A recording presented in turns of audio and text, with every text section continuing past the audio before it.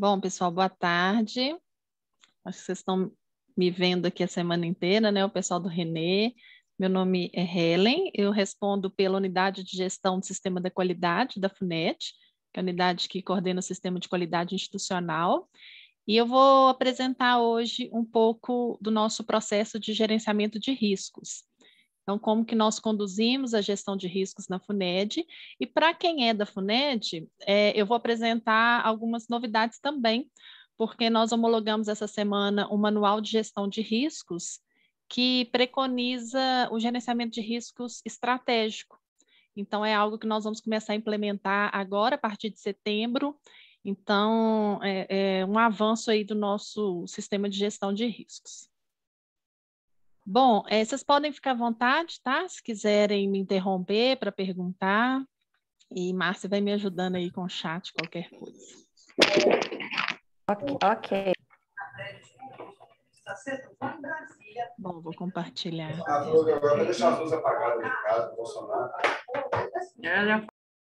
Conseguem ver minha apresentação, tá ok? Bom, então Sim. falar um pouco é, do processo de gestão de riscos na Fundação Ezequiel Dias. Nós temos como base aí principal duas normas da ISO, né, que é a norma ISO 31000, que é uma norma específica para o processo de gerenciamento de risco, e a irmã dessa norma, né, a 31010, que é uma norma que traz técnicas para o processo de avaliação de risco, ou seja, ferramentas de gerenciamento para que nós possamos operacionalizar esse processo.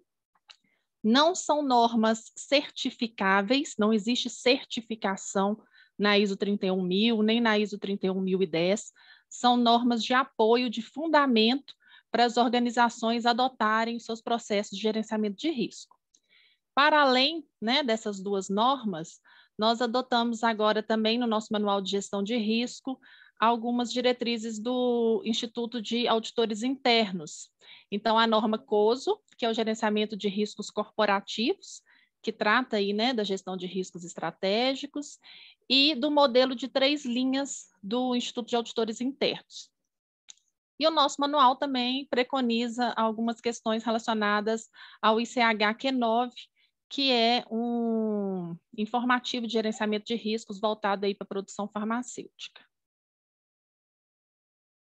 Bom, essas normas de base, né, de fundamento do nosso sistema de gestão de risco e as normas certificáveis. Algumas delas nós somos certificados, outras não, mas eu trouxe aqui só para mostrar para vocês que as normas de certificação, todas elas, trazem requisitos de gerenciamento de riscos. Então, começando aí com a ISO 9001, que teve sua última revisão em 2015, Nessa revisão, ela trouxe requisitos sobre gerenciamento de risco. Até então, a versão anterior a essa norma, que era ISO é, 9001-2008, 2008 era, ela tratava como ação preventiva. Né? Então, a gente tinha ação corretiva, que é quando algo aconteceu e eu vou corrigir o problema na causa, e a ação preventiva, que é a ação de antecipação de uma não conformidade. Na versão 2015, ela passou a tratar do gerenciamento de riscos. Quer dizer que a ação preventiva acabou, não existe mais? Não, não é isso.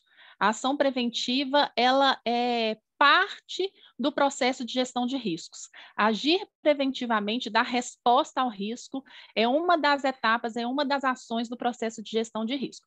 Então, a norma avançou para abranger esse processo como um todo e foi aí acompanhada por outras normas da ISO também. Então, na versão 2017, né, na revisão de 2017, a 17025 também trouxe requisitos de gerenciamento de riscos iguais aos da 9001, tanto que a 17 fala né, que os, é, quando a organização tem o sistema 9001 implementado, esses requisitos já são atendidos. A RDC 301, que é a resolução da vigilância sanitária sobre boas práticas de fabricação de medicamentos, ela foi revisada em 2019, também trazendo requisitos de gerenciamento de riscos, indo muito encontro aí à, à norma da ISO. e outras normas que nós não temos certificações, mas que também são praticamente um Ctrl-C, Ctrl-V desses requisitos, né? Que é a 14.001, que é uma norma para gestão ambiental, gerenciamento do sistema de gestão ambiental, e a 45.001, que é uma norma de saúde e segurança. A ONA, também na sua última revisão, trouxe aí os requisitos de gerenciamento de risco. Ou seja, há uma, um caminhar aí em conjunto das normas de acreditação, de certificação, para trabalhar o processo de gestão de risco, principalmente aí nas suas últimas revisões. Mas parece algo novo, né, que está sendo levantado agora por essas últimas revisões normativas, né? Então, o pessoal alguns anos no, no, início, né, quando começou, e até hoje, o pessoal se descabela um pouco com gerenciamento de riscos, muitos cursos, muitos treinamentos, muitos consultores aí atuando nesse processo. Parece algo muito novo, mas na verdade, se a gente parar para pensar, nem é tanto, né? Nós, se trouxermos aí essa reflexão do gerenciamento de riscos para o nosso cotidiano, a gente percebe que a gente faz uma gestão de risco o tempo todo na nossa vida, na nossa rotina. Né? Então, eu trouxe essa fotinha aí para ilustrar que quando a gente vai atravessar uma rua, por exemplo, nós estamos aplicando um gerenciamento de riscos. Por quê? Quando eu atravesso uma rua, eu tento minimizar ou evitar um atropelamento, né? Então, eu vou tomar ações de mitigação ali para que aquele evento não ocorra. Eu vou é, atravessar na faixa de pedestre, eu vou esperar o sinal fechar para poder atravessar, algumas pessoas aí mais cuidadosas, né, vão esperar até os primeiros carros pararem ali na fila para poder atravessar, para não correrem o risco de nenhum carro ultrapassar ali aquele sinal vermelho. Então, todas essas medidas, todas essas ações, são ações que nós tomamos para minimizar as chances, a probabilidade de algo ruim, nesse caso, acontecer. Então, esse gerenciamento de riscos que é realizado aqui no nosso cotidiano, né, no nosso dia a dia, foi trazido, então, para o ambiente organizacional. Como que as organizações podem, então, adotar essa postura para gerenciar os riscos aí relativos ao seu, aos seus objetivos organizacionais. Bom, mas fala-se em risco o tempo todo, né? Mas o que, que é esse conceito de risco, então? O que, que seria risco? E aí eu vou fazer aqui uma proposta que vocês sinalizem para mim. Eu vou colocar aqui uma questão. Sinalizarem para mim o que, que vocês entendem, o que, que vocês acham, acreditam que seja o conceito de risco. Deixa eu ver se eu vou conseguir, Edmilson. Edmilson não, Edmar. Apareceu aí? Sim, apareceu. Então, pessoal, votem aí para mim, por favor, o que, que vocês acreditam ser o conceito de risco. Dano aos objetivos organizacionais, efeito da incerteza nos objetivos ou probabilidade de evento adverso.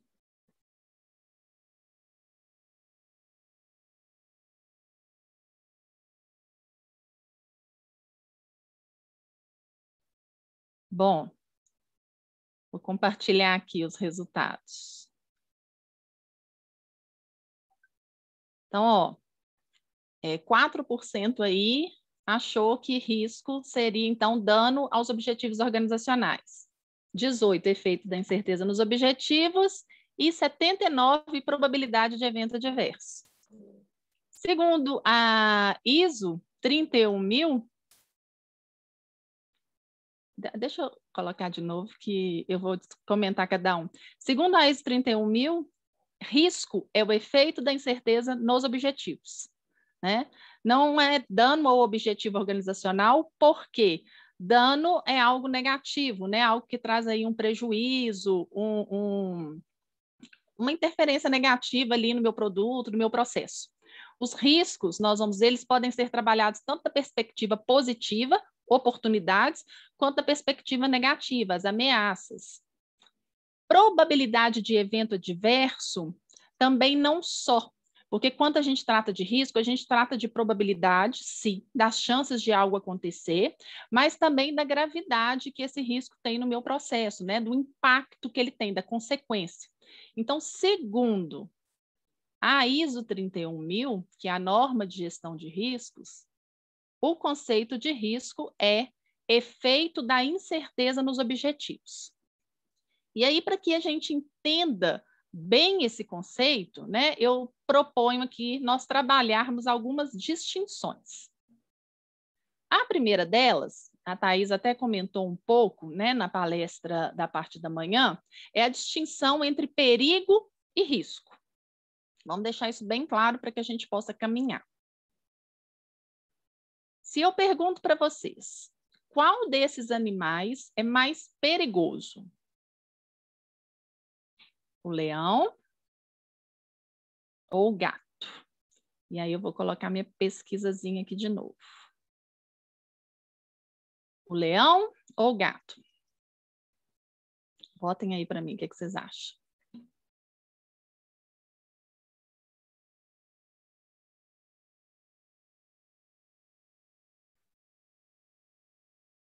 Ok? Bom, 81% acha que é o leão, 19% acha que é o gato. Se a gente falar em perigo, em ameaça, né, para a vida humana, é o leão, né? Ele é mais perigoso para a nossa integridade física do que o gato. Mas se eu mudo a pergunta e pergunto para vocês agora, qual animal oferece o maior risco? O leão ou gato? Vou aqui a pesquisa.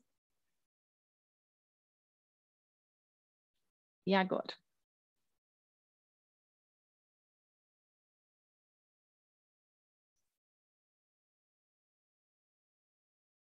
E aí a maioria colocou o gato, né?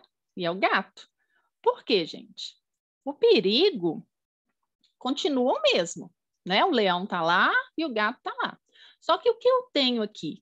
Uma situação mais gerenciada, mais controlada em relação ao leão. Então, o leão está enjaulado. A probabilidade desse leão me atacar, né, me ferir, é nula, porque ele está ali atrás de umas grades de aço. Então, o perigo leão está controlado, o risco dele me atacar está gerenciado. Eu não estou vulnerável a esse perigo. Por outro lado, o gatinho está ali, né, prestes a pular no meu pescoço. Então, né, livre de qualquer empecilho. Então, o risco que ele oferece à minha integridade é muito maior, apesar do perigo ser diferente. A Thaís deu um spoiler aí de manhã, né? Do, sem, sem saber do tubarão. Então, essa reflexão que a gente faz. O perigo aqui é o mesmo o tubarão. O risco é totalmente diferente. Na foto de cima, eu não sei se está nítido, porque é aqui no fundo eu tenho as pessoas aqui na praia e o tubarão aqui no mar. Na outra foto, o mergulhador está nadando do lado do tubarão sem nenhuma jaula, sem nenhuma grade de proteção. Então, o perigo é o mesmo, mas a situação, a vulnerabilidade ali da pessoa é muito maior. Trazendo essa reflexão para a nossa realidade, nós podemos, por exemplo, ilustrar com a pipetagem, né? Eu tenho ali, vamos supor que o mesmo líquido sendo pipetado, numa situação pipetado com a boca e em outra situação pipetado ali com todos os recursos, com todos os EPIs. Então, o perigo é o mesmo, mas o risco ao qual o trabalhador ali está exposto é totalmente diferente. Trabalhar gestão de riscos é justamente isso: é minimizar as chances de algo acontecer. Né? nesse caso aqui, algo ruim acontecer. É trabalhar é, recursos, ações que vão mitigar essa probabilidade. Pensando nisso, então, o que, que a gente poderia classificar se eu falasse para vocês que o perigo é altura? Qual que seria o risco? E aí vocês colocam ou coloquem no chat ou po podem abrir o microfone, por favor. Cair? Cair, queda. E se for uma superfície quente? Queimar, né? Queimadura. Combustível. Uma combustão, uma explosão. Explosão. Um microorganismo que eu estou manipulando. Uma infecção? Uma infecção, uma contaminação. Né? Então, por isso que a norma fala que o risco é o efeito da incerteza nos objetivos. Ou seja, eu vou sofrer ali uma queda ou uma queimadura. Por que, que incerteza? Porque não é algo que eu tenho certeza que vai acontecer, né? É algo incerto, é algo que pode ter ou uma probabilidade pequena ou alta, e aí no gerenciamento de riscos a gente aprende também a mensurar isso, mas há uma probabilidade daquilo acontecer. Portanto, eu vou tomar as ações necessárias. Nos objetivos, quais são os objetivos? Aí depende do tipo de processo que eu estou analisando, né? Se eu estou falando aqui é, da, da saúde e segurança do trabalhador, risco ocupacional. Se eu estou falando do impacto no meio ambiente, dos meus resíduos, né, dos gases que podem ser é, emitidos para a atmosfera, eu estou falando de um dano ambiental. Se eu estou falando é, de um projeto que eu estou desenvolvendo, eu estou falando ali de riscos de não entregar os meus resultados nos prazos estipulados, conforme os requisitos acordados, e por aí afora vai. Então, nós temos aí um arcabouço de, de objetivos organizacionais a serem atingidos, que o processo de gestão de riscos procura assegurar, então, da melhor forma essas entregas. Bom, eu gosto muito de trabalhar, então, com essa figura, para que a gente possa ter essa visão ampla do gerenciamento de riscos. Eu tenho aqui, então, é, pedras ali, né, numa encosta, que representam uma ameaça, e as casinhas ali construídas ao pé daquela encosta. Ou seja, essas casinhas estão vulneráveis a essa ameaça. Se elas não tivessem sido construídas aí, elas não estariam nessa situação de vulnerabilidade ao qual estão. Então, qual que é o risco aqui dessas pedras é, né, se desprenderem e soterrarem as casas? Então, eu tenho um risco ali de soterramento. Então, o risco é a ameaça e a vulnerabilidade versus aí a minha vulnerabilidade. Então, mais uma vez, gerenciar riscos é gerenciar ações para nos tornarmos menos vulneráveis à probabilidade de algo danoso acontecer nos nossos objetivos aí. Bom, a estrutura do processo de gestão de riscos que nós trabalhamos na Fundação Ezequiel Dias obedece à estrutura da ISO 31000. Então, quais são as etapas desse gerenciamento? Estabelecimento dos contextos, né? Eu entendo ali é, o meu contexto organizacional, qual eu estou atuando, identifico esses riscos, conheço esses riscos, analiso, eu vou passar por cada um deles aqui em, mais detalhes. Analiso, avalio, trato esse risco, ou seja, dou uma resposta a ele, e o tempo todo eu trabalho a comunicação e consulta dessas partes interessadas e o monitoramento e análise crítica desse processo. Então, essa é a estrutura do processo de gerenciamento de riscos, e essa parte aí em amarela, né, identificação, análise e avaliação, é, são as etapas realizadas com base na 31010, que, como eu disse, é a norma que nós utilizamos para operacionalizar a gestão de risco, né? São as ferramentas de gestão de risco que são usadas então. Bom, é, no nosso manual de gestão de riscos, então, nós adotamos as três linhas do gerenciamento de risco, sendo elas, na parte gerencial ali, a primeira linha é a instância primária de controle. Então, o gerenciamento de riscos na FUNED, ele é feito por todas as unidades administrativas. Então, é uma instância que vai identificar esses riscos, vai propor ações de mitigação, vai monitorar esses riscos. Como segunda linha, como instância de supervisão, orientação e monitoramento, nós temos aí dentro da AGEI a unidade de gestão do sistema da qualidade e a unidade de gestão estratégica agora com, a, com gerenciamento dos riscos estratégicos e o Comitê da Qualidade para esses riscos que permeiam mais de uma diretoria. Então, riscos de auditoria interna em trabalho remoto, nós fizemos esse trabalho, em algumas outras situações. Terceira linha é a instância independente de supervisão, que são as auditorias internas e as auditorias externas pelas quais passamos anualmente. Então, esses auditores, eles verificam o atendimento aos requisitos do processo de gerenciamento de riscos. Né? Esse processo está sendo atendido conforme especificado, as pessoas conhecem os riscos, estão atuando, e tudo isso, então, é reportado à alta direção. Bom, nós temos, então, dois alicerces no processo de gerenciamento de risco. O processo de gerenciamento dos riscos estratégicos, dos objetivos estratégicos, que é o que eu falei que nós vamos passar a adotar agora a partir de setembro, e o gerenciamento dos processos e projetos organizacionais, que é o que nós já estamos habituados. Como que vai acontecer esse processo de gestão dos objetivos estratégicos? Então, esse, esse processo de gerenciamento, ele vai ser feito para as metas FUNED. Então, as metas FUNED vão passar por esse processo de gerenciamento de riscos. Na primeira etapa, nós vamos analisar o contexto externo da FUNED e o contexto interno. Na segunda etapa, será feita, então, uma avaliação dos riscos relacionados a cada meta, por um grupo técnico que vai ser definido em cada diretoria. Terceira etapa, um reporte e comunicação desses riscos à alta direção. E na quarta etapa, o um monitoramento dos controles e respostas que foram ali planejadas para esses riscos. Como que a análise de contexto acontecerá? É, serão realizadas oficinas, então, em cada diretoria, para que nós possamos entender o contexto de cada negócio. Essa análise de contexto, ela vai ser balizada por uma ferramenta que se chama PESTEL. Nessa ferramenta, nós temos ali é, cinco, seis, né? Seis fatores externos que têm que ser pensados, refletidos na hora de entender o nosso contexto externo. Então, fatores políticos, econômicos, sanitários, tecnológicos, ambientais e legais. Então, por exemplo, fatores políticos.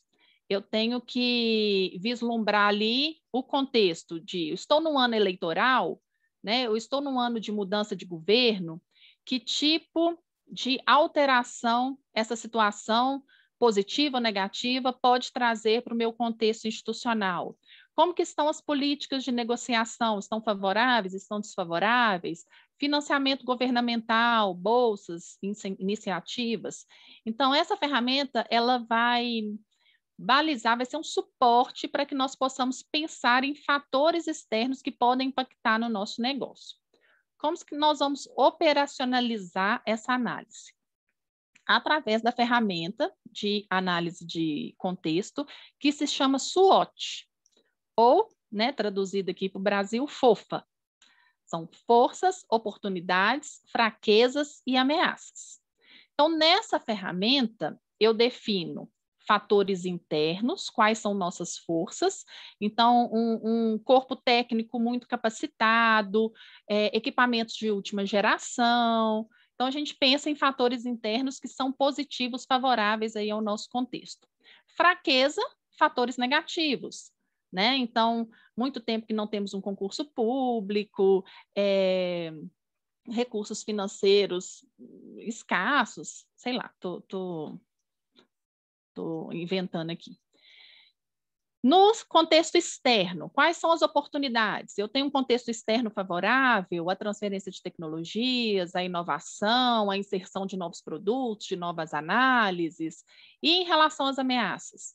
Né? O que, que eu tenho aí? Novas, é, novas instituições prestando, prestando serviços similares, de repente, ou uma, um desinteresse do governo nos nossos produtos. Então, todas essas questões externas são levantadas, para que a gente possa, então, ter uma visão, um panorama do nosso contexto, né? ao qual aquela meta ali vai ser definida.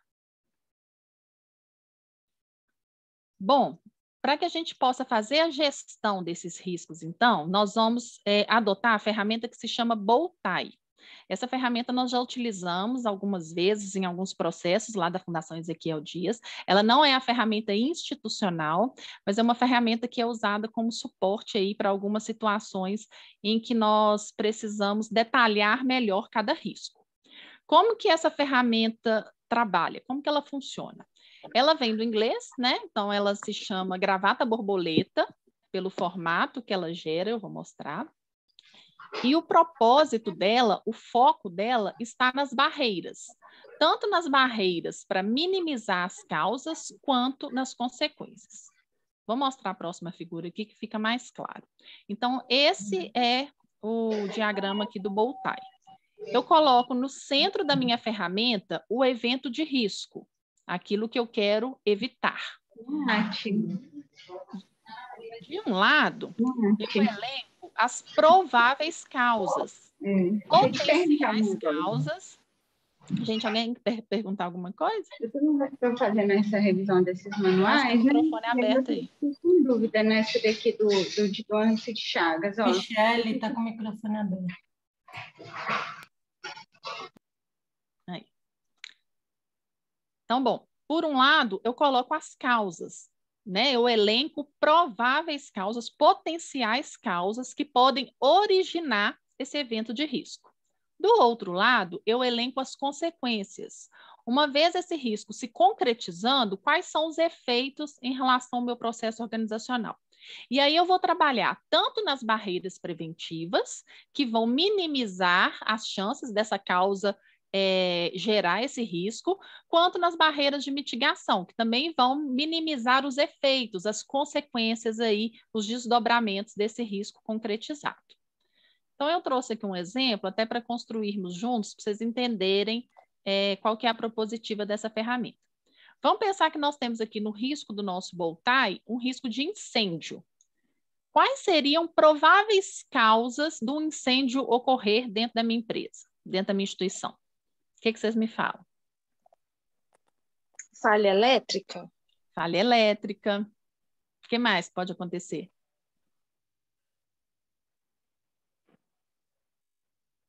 Que pode causar um incêndio? Combustão de algum reagente químico. Combustão de algum reagente químico. Mais alguma coisa?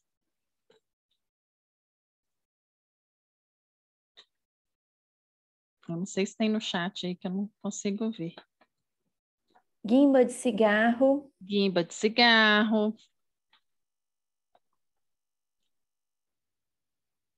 Ou seja, eu tenho diversas causas aí que podem ocasionar um incêndio. Então, coloquei algumas aqui: um curto-circuito, um vazamento de gás, raio, mas esses outros que vocês falaram também. Então, por isso que essa ferramenta sempre tem que ser uma construção coletiva, né? Para que a gente elenque ali é, o maior número de causas. E as consequências? Um incêndio acontecendo. O que, que eu tenho ali de consequência? O que, que eu posso ter?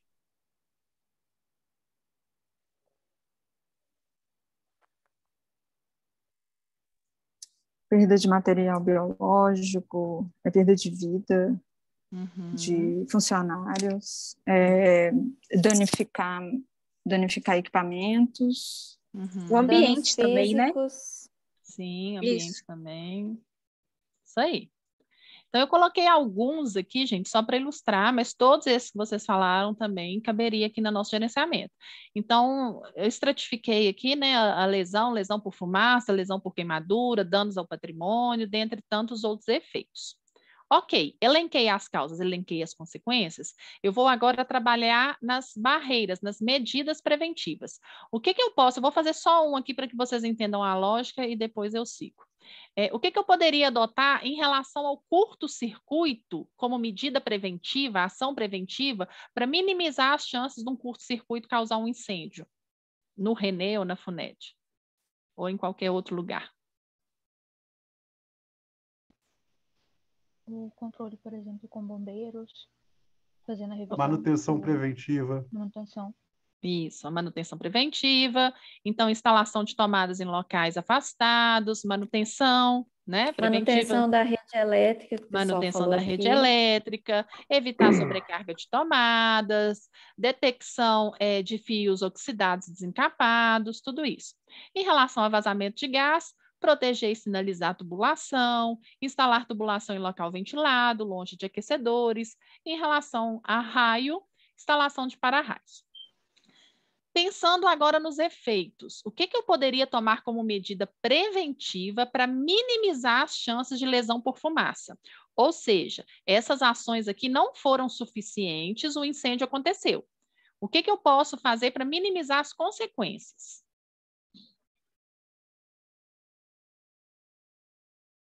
O que, que vocês acham?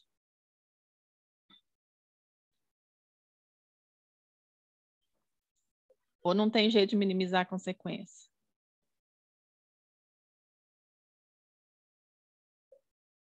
Disponibilizar EPIs, por exemplo? Sim, EPIs.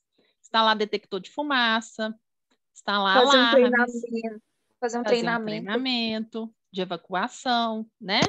Em relação a danos patrimoniais, gerar um seguro, por exemplo, realizar simulados de evacuação, estabelecer protocolos de contingência. Então, vejam, essas medidas, instalar extintores, sprinklers, elas não minimizam as chances do incêndio acontecer, mas elas minimizam as consequências se esse risco se concretizar. São ações preventivas para minimizar os efeitos. Então, quando a gente trabalha gerenciamento de riscos, a gente pensa em ações preventivas, tanto que para minimizar causas, quanto para minimizar consequências. Né? Eu gosto muito de dar o exemplo também da Vale, que eu acho que fica bem claro isso. Essa tragédia que nós tivemos em Brumadinho, se o refeitório não tivesse sido construído na rota da lama, só essa ação não impediria a barragem de se romper mas minimizaria e muito as consequências que nós tivemos, né, que foram aí perdas de tantas vidas. Então, as, a, o processo de gerenciamento de riscos ele tem que ser visto nessa forma abrangente, pensando tanto nas causas quanto nas consequências. E é essa ferramenta que vai ser então utilizada para cada meta da FUNET.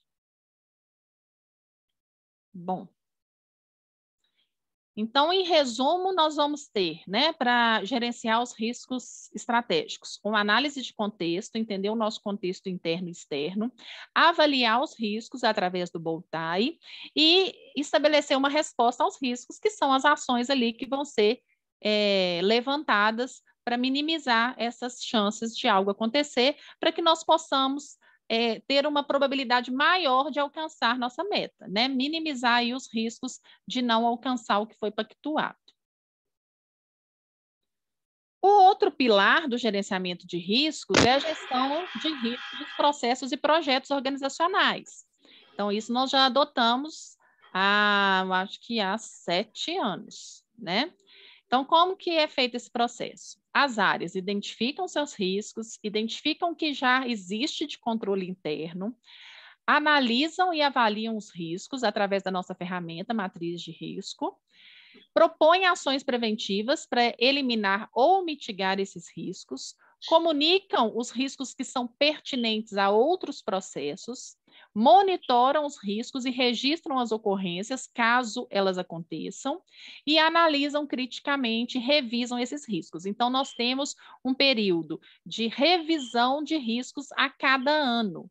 Geralmente, isso acontece no início do ano, as áreas são provocadas, então, a realizar essa revisão dos riscos. Então, eu analiso o que foi levantado no ano anterior, né? Qual que é a, o atual status desse risco e penso nos riscos é, para o ano seguinte.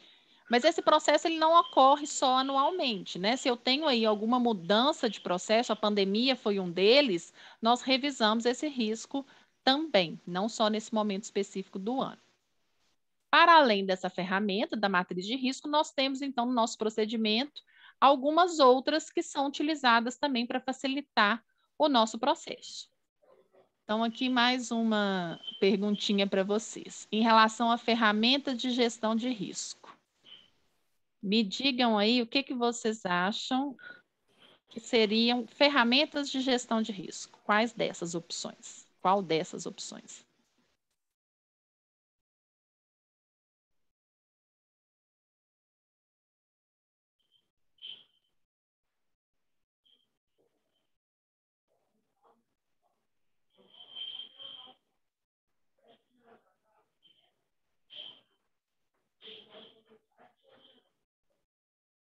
Bom, vamos lá.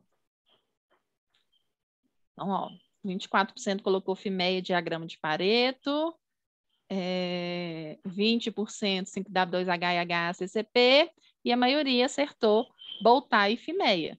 Boltai, que eu acabei de mostrar, e o FIMEA, que é uma ferramenta para modos e análise de falhas. Diagrama de Pareto, gente, é um gráfico utilizado, muito utilizado também para percepção de causas de acidentes, de desvios. Então, ele é aquele diagrama baseado no princípio dos 80-20, né? Que eu tenho muitas causas triviais e poucas causas vitais no meu processo. Então, geralmente, poucas causas são responsáveis por 80% dos desvios, das não conformidades no meu processo. E o 5W2H é o plano de ação, né? Então, é uma ferramenta utilizada para resposta, mas não para gestão de riscos. Bom, o que, que nós temos na FUNED, então, como arcabouço aí para esse gerenciamento? Nós temos a matriz de risco, que é a ferramenta institucional, que é utilizada por todas as unidades administrativas. Temos o Boltai, que eu acabei de mostrar. O FIMEIA, que é muito utilizado em projetos e processos, início de processo. Então, um projeto de novo produto farmacêutico, novo estudo de estabilidade ou alguma alteração no processo produtivo, ele é precedido de um FIMEIA.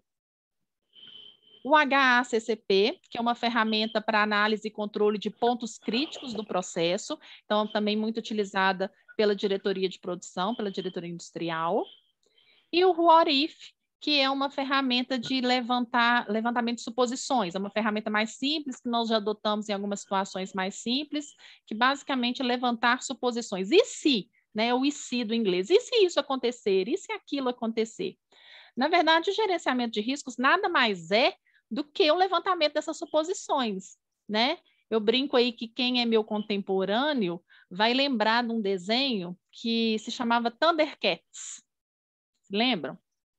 Nesse desenho, o, o Lion lá, né, que era o principal, ele tinha uma espada que era espada de, espada de Tandera, que tinha o olho, o olho de Tandera, o olho da justiça. E o slogan do, do desenho era da espada era visão além do alcance. E eu brinco que é um pouco isso, o gerenciamento de riscos mesmo. É a visão além do alcance, é olhar para uma situação ali concreta que eu estou vivendo e pensar para além. Né? O que, que pode acontecer aqui que eu não estou visualizando e que pode afetar o meu processo de trabalho. Né? Nós fazemos muito isso. Quem tem filho pequeno aí faz isso o tempo todo, né? Se a gente vai viajar no final de semana, prepara a mala lá pensando em várias possibilidades. E se fizer sol, e se chover, e se o menino resfriar, vou colocar um antitérmico. Então nada mais é do que essa essa percepção ali de situações que a gente traz também para o meio organizacional. Bom, essas etapas, então, de gestão de riscos, elas seguem aqui uma lógica do PDCA, né? Primeiro eu planejo, executo, checo e ajo ali em cima de cada risco identificado. Então, no primeiro momento, nós trabalhamos a identificação dos riscos.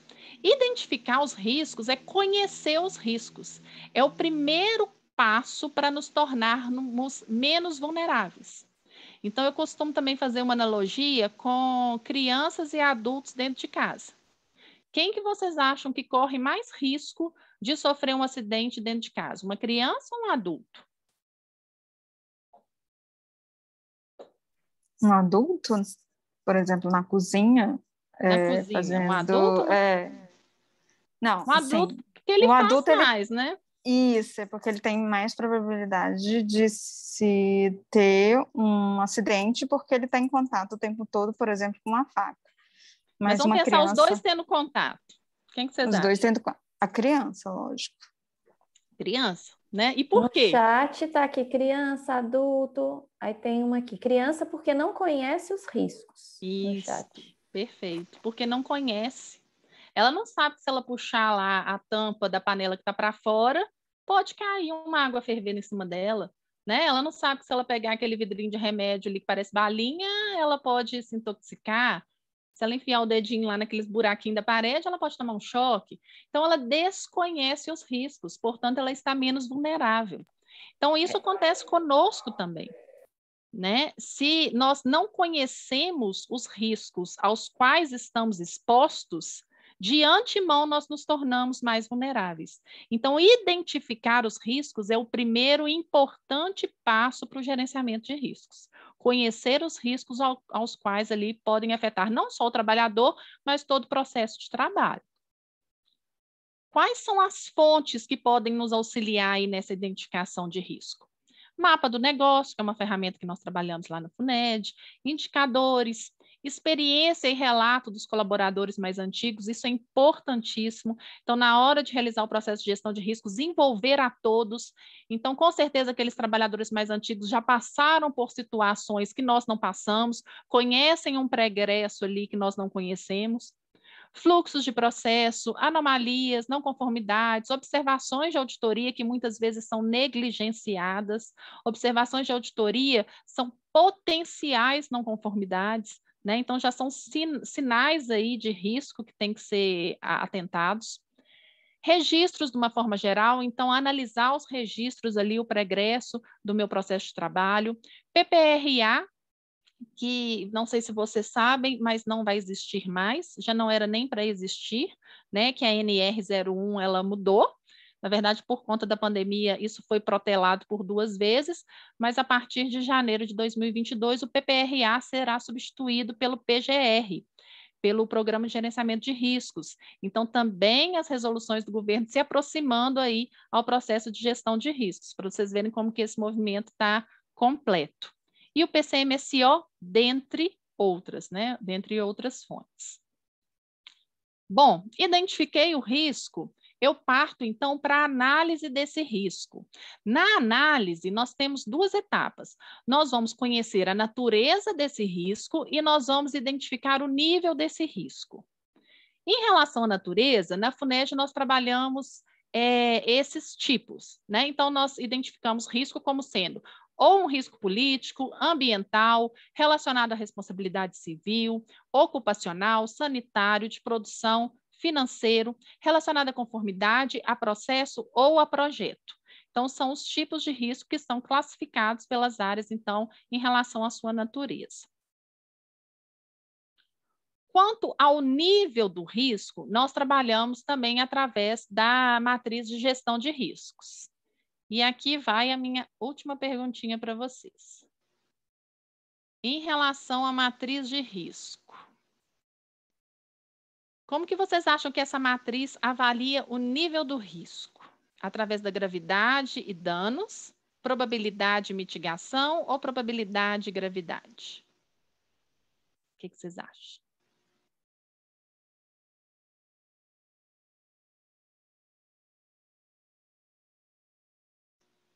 Vamos ver.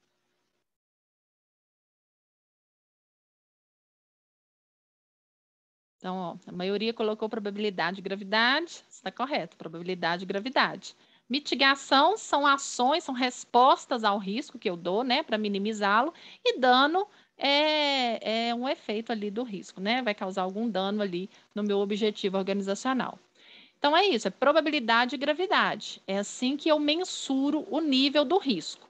Por que, que é importante mensurar o nível do risco? Porque nós temos situações completamente diferentes, né? Então, essa figura ilustra muito isso. Eu tenho ali, no primeiro cenário, o bonequinho que estava andando pela rua, uma depressão ali na rua, mas é uma depressão muito rasa. Então, o impacto, a gravidade, a severidade, se esse bonequinho cair nesse, nesse buraco, é muito pequena, né? Dele se machucar. Mas as chances dele cair é muito alta, porque o buraco é extenso. No segundo cenário, o melhor dos mundos, né? Um risco ali com baixa probabilidade e baixo impacto. No terceiro cenário, a probabilidade é baixa, porque o buraco é curto, mas se ele cair, tem estacas, tem fincos ali, então os danos vão ser muito maiores. E no quarto cenário, o pior dos mundos aí, né? Um risco que as chances de ocorrer são muito altas e as suas consequências também são muito danosas, são muito graves. Então, por isso que é importante pensar o risco pela probabilidade e pela gravidade, porque nós depararemos ali com diversos cenários e isso vai balizar a, a, nossa prioridade na hora de propor as ações. Então, é claro que eu vou dar muito mais gás, muito mais recursos, muito mais atenção para aquele risco que tem uma alta probabilidade e um alto impacto do que para um risco muito menor. Não que ele seja negligenciado, né? Mas é questão de prioridade. Então, como que nós é, avaliamos então esse nível do risco? Nós temos uma tabela que classifica tanto a probabilidade quanto a gravidade. Então, essa tabela vai de uma escala de 1 a 5, sendo um, um evento altamente improvável, um evento raro, teoricamente possível, mas de ocorrência excepcional. Processos quase idênticos nunca apresentaram falhas, provavelmente não ocorra dentro de 15 anos. Na outra ponta, um risco muito provável, muito frequente, acontece quase sempre, quase inevitável, pode acontecer a qualquer momento. Da mesma forma, é, eu classifico em relação à gravidade. Em relação à gravidade, eu posso pensar sobre diferentes aspectos. Então, se eu estou tratando de um risco ao meio ambiente, então eu posso ter danos leves ao meio ambiente, desde danos críticos. Se eu estou pensando em relação à segurança do colaborador, também, desde um risco ali sem lesão ou doença, até um risco que pode causar morte ou invalidez permanente. E assim fazemos, então, nossa classificação. Então, essa é a nossa matriz de risco. Né? Ela está classificada em riscos irrelevantes, baixo, moderado, alto ou crítico. E a lógica dela, então, é ser analisada com um grupo multidisciplinar, né, com toda a equipe envolvida, com base no, no, histórico, nos relatos de acidentes, nos registros anteriores, que isso é, é pontuado. Então, por exemplo, um risco de liberar um laudo com resultado errado. Então, na nossa análise, vamos supor que a classificação foi 3, pouco provável. Mas a gravidade, caso aconteça, pode gerar danos sérios. Eu estou falando de um laudo aqui de uma doença mais grave, mais séria, então posso gerar é, danos sérios. Então, pela nossa matriz, nós temos probabilidade 3, gravidade 4, é, contrário aqui, né, na minha fala. Esse risco foi classificado como alto. Então, eu tenho aqui um risco alto. Nós usamos ferramentas combinadas também. Então, para, né, é a sugestão para as áreas que os riscos identificados como críticos e altos sejam também analisados através do Boltai. Então, eu, eu pego aquele risco ali que está crítico e analiso ele em maior profundidade, em maior detalhamento. Aí eu vou elencar prováveis causas, prováveis consequências e trabalhar mais de uma medida ali para tentar mitigar esse risco. Bom, essa é a análise, classificação da natureza e nível do risco. A avaliação do risco é feita essa análise, eu decido se eu vou tomar uma ação né, de mitigação, de eliminação ou não. Decidido isso, eu parto então para o tratamento, a resposta ao risco. Eu vou agir né, preventivamente ou para minimizar esse risco, mitigar, ou para eliminar esse risco. Em alguns casos, quando o cenário é muito favorável, né, ou quando o risco é muito pequeno, seu impacto, sua probabilidade, ou quando não há nenhuma perspectiva de atuação, assim, nenhum campo de atuação, eu posso aceitar, mas são exceções. É, vou monitorar esse risco o tempo inteiro. Então, esse trabalho, como eu disse, geralmente é feito no início do ano, mas os riscos são constantemente monitorados a cada acontecimento daquilo ali que foi analisado, né, eu tenho que então rever esse risco. Então, como que acontece a revisão? É um, um, repensar ali daquele processo, né? Esse evento ainda é possível? A probabilidade ainda é a mesma ou não? Eu criei controles no meu processo e agora as chances disso acontecer são muito menores. A gravidade ainda é a mesma? A tolerância do meu processo aos riscos é, é a mesma? Então, sempre que há grande mudança no processo de trabalho, ou grande entrada de servidores, ou uma mudança né, é, direta ali da forma de se produzir algo, ou a própria pandemia, que é um exemplo claro, que nós realizamos uma revisão no meio do ano passado por conta da pandemia. Né? Então, tudo isso é constante. O processo de risco, gente, ele é dinâmico. Então, uma organização que tem o mesmo gerenciamento de risco, seja qual for a ferramenta, igual desde 2019, para mim é um processo sem eficácia nenhuma, né? Sem, sem resultado nenhum. Porque depois de 2019 nós passamos pela pandemia do coronavírus. Então, os riscos, em qualquer que seja o negócio, em qualquer que seja o ramo de atuação, são outros. né? O nosso cenário mudou brusca, bruscamente. Então, esse é um exemplo mais do que claro aí do quão essa revisão é importante. Então, sempre que houver alguma alteração nos processos críticos que incluam ou excluam riscos, esses riscos devem ser revistos. Isso significa uma nova avaliação, probabilidade, gravidade, novas ações ali, se forem necessárias. Revisei, comunico. Então, comunico ali não é uma sequência, né? Na verdade, o comunicar, ele permeia todas as outras etapas. Eu tenho que o tempo todo comunicar os riscos. Por quê? Eu gosto muito dessa figura para ilustrar, né? os folgadões ali pensando, ainda bem que o furo não é do nosso lado. Mas temos que lembrar que estamos todos no mesmo barco.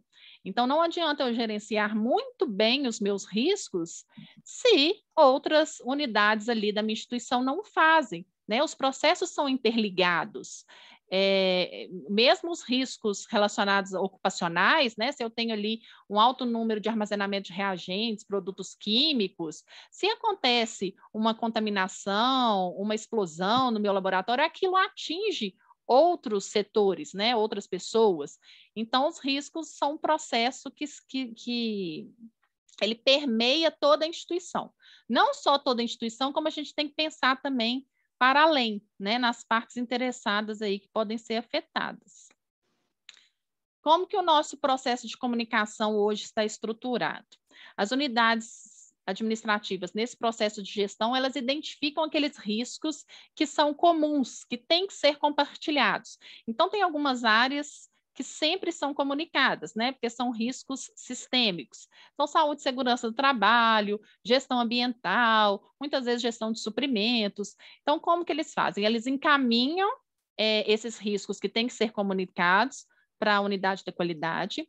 A qualidade compila esses riscos, porque aí eu recebo, por exemplo, riscos de saúde e segurança da FUNED como um todo. Isso é compilado e é encaminhado, por exemplo, ao Serviço de Saúde e Segurança do Trabalho. O Serviço de Saúde e Segurança do Trabalho é, faz um, um, uma análise de pensar ó, esses riscos que foram identificados pelas unidades. O que, que já está sendo controlado pelo SST, o que, que já existe e o que, que tem que ser adicionado, né? o que, que eu tenho que passar a fazer e o que, que as áreas também podem passar a fazer. Então, eles é, voltam aí com essa informação que nós replicamos lá nas áreas também para que elas repensem ali se há necessidade de inclusão de alguma nova ação ou não, né? Se aquilo ali já está cercado, já está controlado. Bom, para finalizar, então, eu acho que a reflexão que esse processo todo é um processo dinâmico, então ele está sempre em constante alteração, né? Porque o nosso cenário tem constante alteração.